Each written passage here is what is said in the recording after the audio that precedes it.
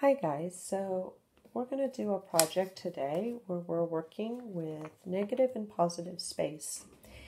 And negative space, positive space, you know, you know, if an object takes up space, you know, this is the space of the index card. Negative space is the space that is around the object that you don't really think about. You have the object, but then there's this other part of your work, right? That that's space too, right? So in art, we talk about sort of negative space. We're going to do a project today with tessellations where we're going to be using space um, and have the positive space of one thing kind of bleed into the negative space. Um, or the negative space around an object actually turns into the positive space of the next object. Right now, you're like, what is she talking about? Let's do some exploring with space. Okay, so I'm going to start with an index card. And I'm going to be doing work on two of the sides, right? You don't need to color yours. I'm just showing you. I'm going to do one length and I'm going to do one of the width, okay? And I'm going to start by drawing. You want to cut something out here that's but it's it's can't be too complicated. I'm also not going to cut off the corner because it's helpful to have the corner when you're lining things up. So I'm going to start maybe maybe right about here. And and let's say I do that. Okay? And then let's see on this one oh, I didn't leave myself a lot of room here uh, I'm going to do something different here. Let's see, I'm going to leave the corner again. And I'm going to, let's do it the opposite way. Let's go like that. All right, I'm going to try to cut this out to the best that I can. Let's do one at a time and I'm going to show you what I mean. So I'm going to take this big one here.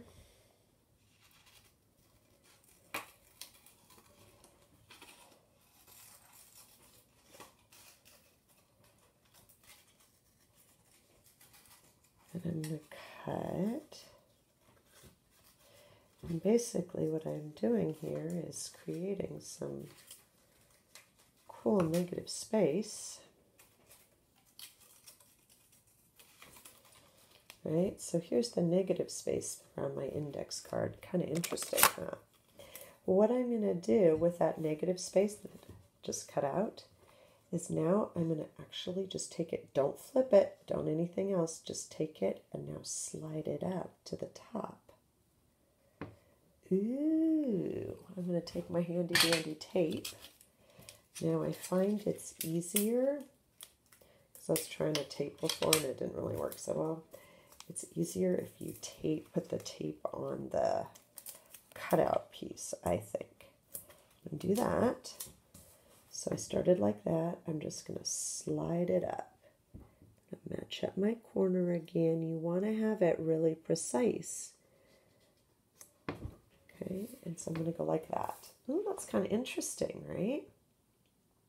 I'm going to do the same thing over here with this side now. So let's take my scissors again. That's going to be very weird. Let's see what we get. I didn't quite make it on the line there. That's okay.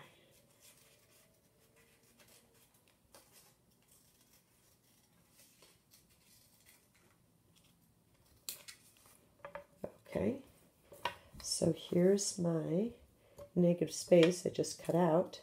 I'm going to actually now turn it into positive space and slide it over here, matching up my corner again. So it's going to look like that.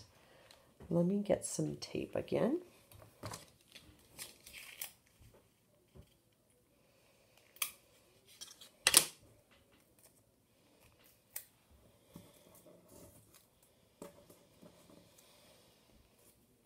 Do I have it going the right way? Yeah, that's right. Okay.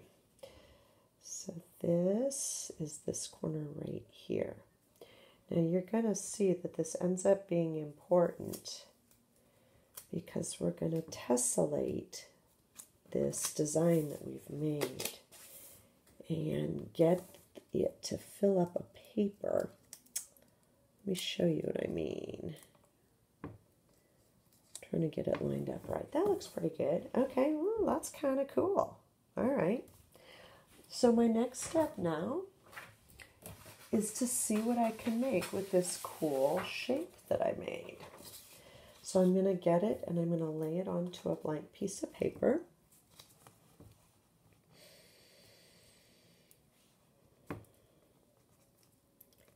And I'm going to trace it.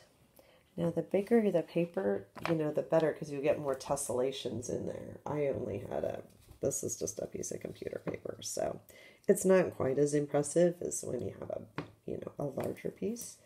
But, you know, strange times, we use what we have, right? So what I'm going to do now is I'm going to trace it. And so I'm tracing this shape.